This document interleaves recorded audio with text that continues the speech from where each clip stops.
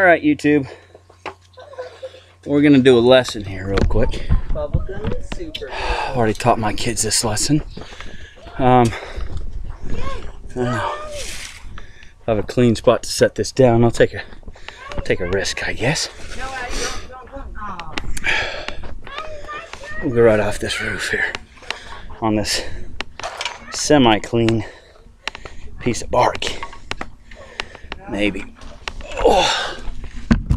All right. Whoops. Sorry, you're all crooked now. All right. So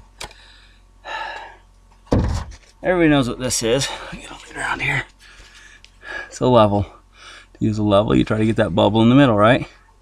Now, if I'm measuring the ground, I got lots of dips and oops, I got lots of dips and dives under here. And it's never, it might give me a level when most of it's not.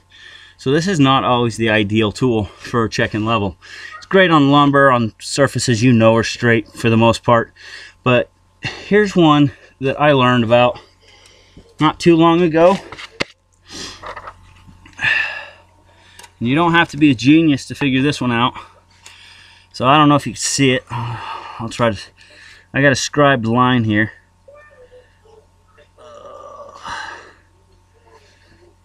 Alright, I'm just following the groove I put in there. Everyone's like, what is he talking about? I can't see it. Alright, so the black, the line, right? See the pendulum? If it's leaning back, it won't work very good because it's dragging. Right, see the drag? It, it may not, may or may not be straight, see? So it's got to be leaning forward. Um, I need to straighten, or not straighten, but cut these to a tip and make sure they're even on both sides and make sure it's level. The angle you cut on this guy here, this is not a 45 degree angle. Stay back, please. This is, what? I'm um, what? Did he come out and take over? What if we what if we share?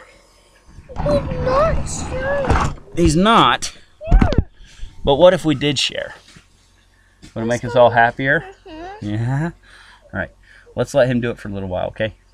All right. All right. Dad's in the middle of showing some showing people stuff here. Yeah. All right. This is evil on my lower back. So I'm gonna set this on the ground, lean it forward just a little bit so it'll, it'll swing freely, and you'll see that it does not. Maybe you'll see it does not line up perfectly with this black line. But that's because this side, whoops, this side of the dirt is higher. So I take a flat nose shovel. I lied, okay? The other side was higher. So I lifted this, I lifted this side up and I looked and saw how far up I needed to dig this side to get it level.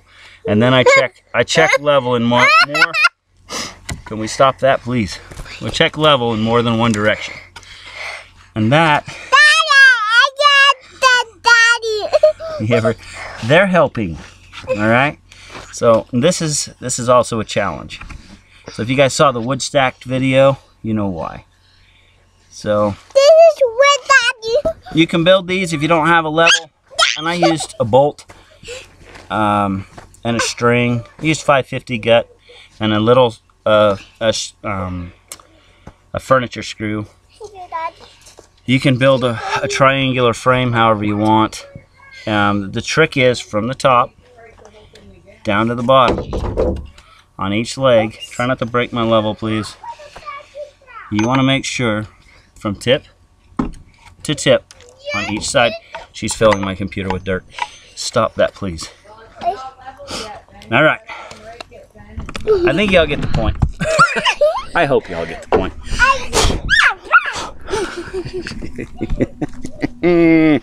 All right. Driving me nuts. You ever try working with kids? Okay, come over here so I would have some peace and quiet and we can tell it doesn't work. So another way to check if you're level or not. Hey, don't be spitting, please. That's gross. Don't be spitting. Go in the house. You need to take care of a runny nose. All right. So, you might need to take care of more than that. Go see mom. All right. Guys, tried to show you how I make sure my ground is level. I like this versus this. This is great for framing or whatever. And I got a plastic one because sounds bad, but I'd rather this thing break than bend. Because if it's broken, I know it's broken. If it's bent, it might be bent just enough you can't tell. Um, so, all right, I'm gonna go back to work. I think my back has had enough of a break. So, thanks for watching. Hope you guys enjoyed.